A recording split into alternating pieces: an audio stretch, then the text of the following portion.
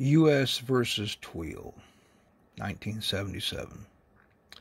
Have any of you ever asked the IRS a direct question and they absolutely refuse and threaten you?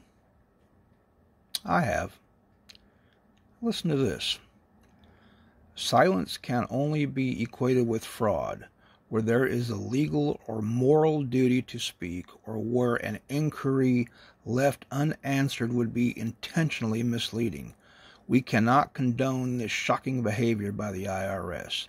Our revenue system is based on the good faith of the taxpayer, and the taxpayer should be able to expect the same from the government in its enforcement and collection activities. If that is the case, we hope our message is clear. This sort of deception will not be tolerated, and if it is routine, it should be corrected immediately. That is when you ask the IRS, any of their agents, is there a tax on private sector labor?